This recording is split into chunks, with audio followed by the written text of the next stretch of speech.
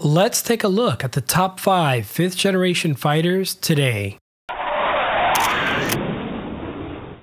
Given the recent rise in global tensions, some would argue that we are entering into a new Cold War era, and as a result, a new arms race has kicked off.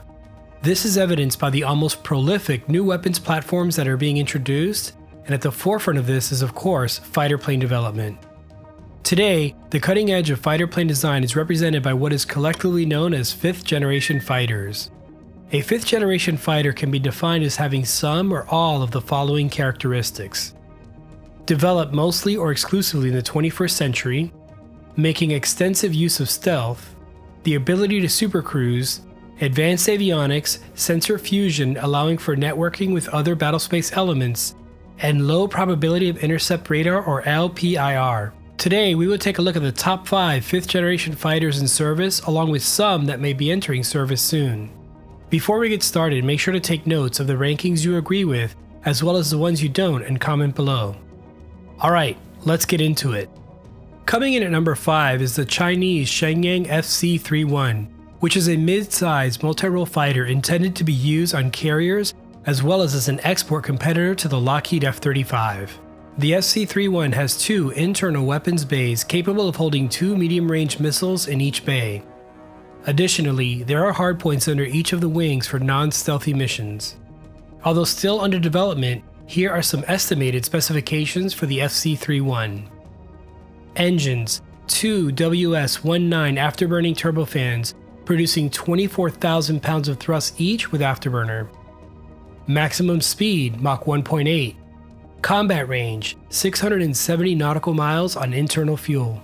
Armament, 6 external hardpoints and an internal bay with a total payload capacity of 18,000 pounds. The FC-31 is capable of carrying both air-to-air and air-to-ground weapons, and when it comes to sensors, it is equipped with the KLJ-7A AESA radar, along with a distributed aperture system or DAS early warning system and an electro-optical targeting system or EOTS. Developed by Shenyang, which is the oldest aircraft manufacturer in the People's Republic of China, and also a subsidiary of the AVIC or Aviation Industry Corporation of China, the FC-31 is intended to be more than a match for existing 4th generation fighters such as the F-16 and F-18.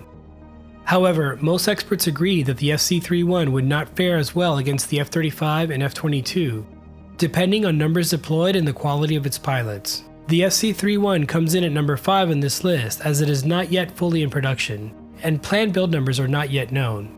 However, it could move up the list in the near future as more capabilities are revealed and actual operational data is available. One final note on the FC31. If it looks somewhat familiar, that may be because in 2009 the Wall Street Journal reported that terabytes of secret information were stolen by hackers from the databases of the Joint Strike Fighter program, better known as the F 35. There is speculation that some of this led to the development of the FC 31. Coming in at number 4 is the F 35. The Lockheed Martin F 35 Lightning II is a single engine, single seat, multi role stealth fighter which is tasked with performing a variety of missions, including strike, air superiority, surveillance, reconnaissance, and electronic warfare, and is intended to operate until 2070. The F 35 is actually a family of aircraft that is produced under three main variants the CTOL, or Conventional Takeoff and Landing F 35A, the STOVL, or Short Takeoff and Vertical Landing F-35B, and the CV Catobar, or Catapult Assisted Takeoff but Arrested Recovery F-35C. For the purposes of this list, we will focus on the F-35A. The F-35A is armed with the internal GAU-22A 25mm 4-barrel rotary cannon, typically carrying 180 rounds of ammunition. Additionally, the F-35 has four internal stations and two weapons bays, which are used to maintain its stealth profile, and six external hardpoints, three under each wing that can be used for non-stealth missions. The internal stations can carry up to 5,700 pounds, while the external stations can hold up to 15,000 pounds. Total weapons payload capacity is 18,000 pounds. The F-35 can carry a diverse range of weapons including air-to-air, air-to-ground, and even nuclear weapons. When it comes to sensors, the F-35 is equipped with the AN-APG-81, an actively electronically scanned array or AESA radar, an evolution of the F-22's AN-APG-77 radar, The APG-81 radar includes air-to-air modes found in the F-22 along with advanced air-to-ground modes that utilize high-resolution mapping, the ability to track multiple ground targets, and electronic warfare capabilities. The F-35 also makes use of the Distributed Aperture System, or DAS, which is a 360-degree spherical situational awareness system. Among other features, DAS provides detection and tracking of missiles, fire control, tracking of friendly aircraft to enhance tactical maneuvering, and navigation assistance for both day and night modes. Additionally, the F-35 also incorporates a sensor platform which provides both forward-looking infrared or FLIR and infrared search and track or IRST functionality, which is known as an Electro-Optical Targeting System or EOTS. Unlike other fighters, the F-35 does not have a heads-up display or HUD. Instead, the F-35's pilots make use of a helmet-mounted display system or HMDS to view flight and combat data at all times. The HMDS also receives image data from the DAS and allows the pilot to effectively see through the aircraft. Additionally, the helmet allows for high angles of bore sight target locking, meaning that the pilot can lock a target and fire a missile at another aircraft that is not oriented to the F 35's nose. The F 35 certainly has had unprecedented cost overruns and has taken longer to bring into frontline service than anyone ever thought. However, the program did have some lofty goals and set about not only to be the best 5th generation fighter and air to everything platform, but also to be made available to allies.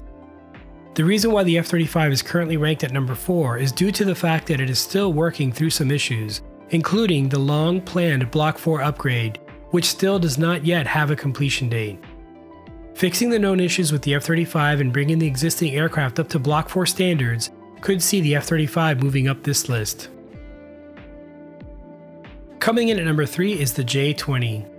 The Chengdu J-20, also known as Mighty Dragon, is a single-seat twin-engine stealth fighter designed as an air superiority fighter with precision strike capability.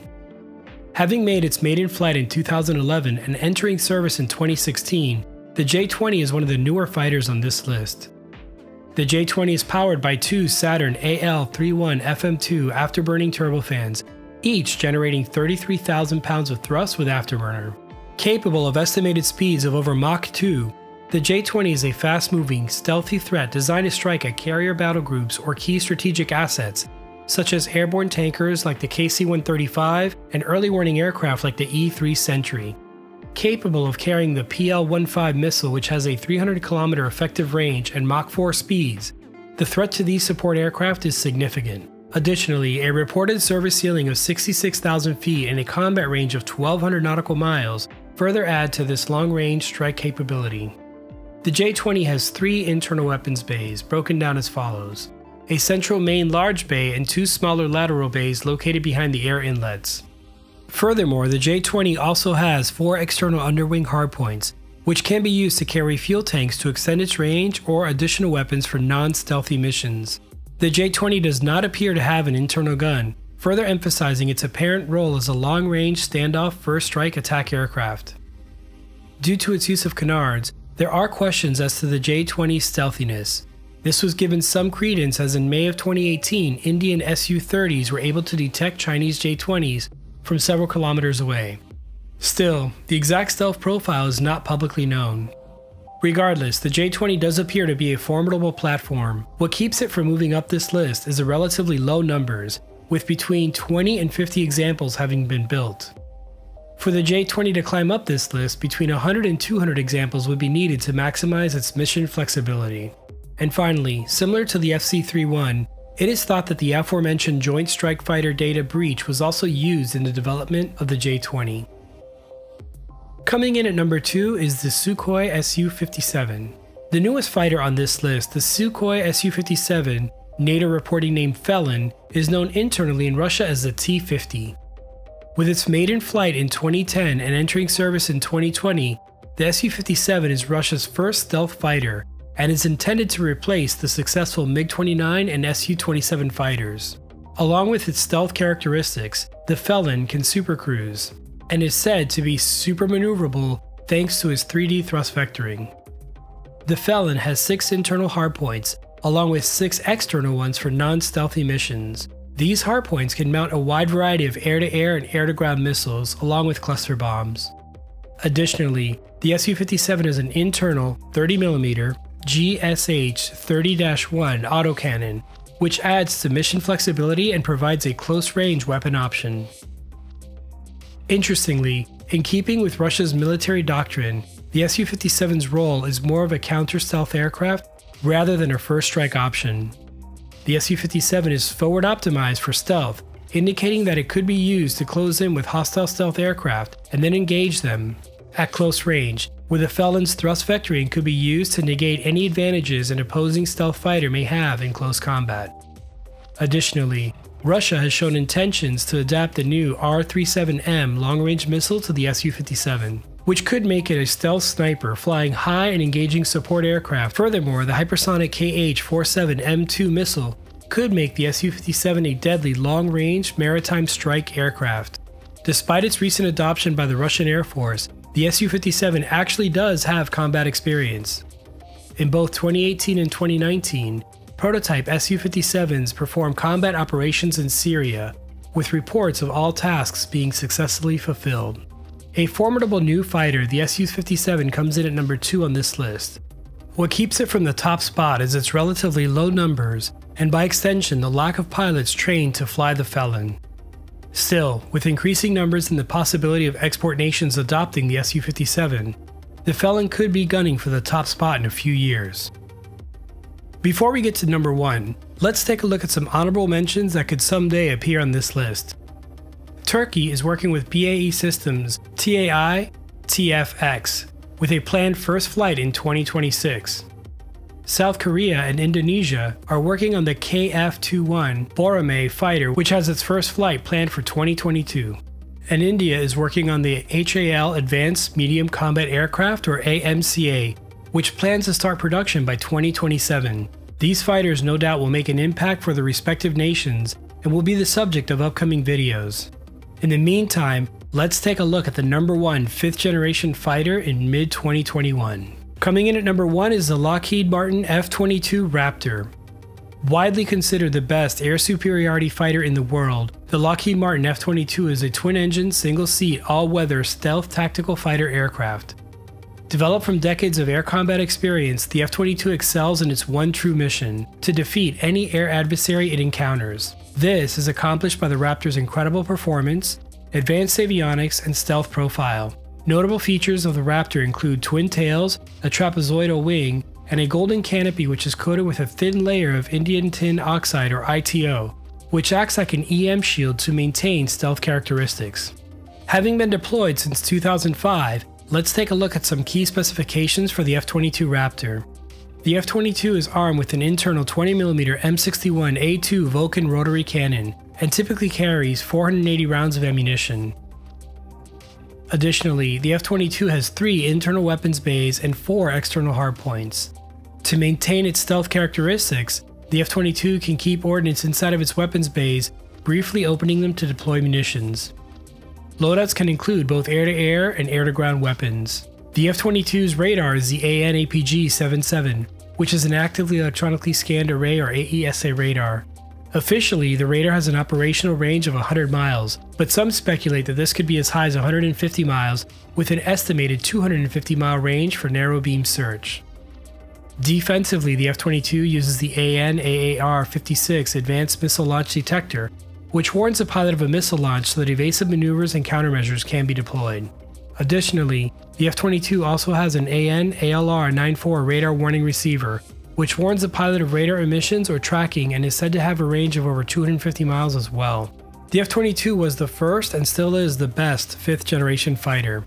As of the recording of this video in mid 2021, the combination of operational examples, a proven track record, and highly trained pilots firmly cement the Raptor in the top spot.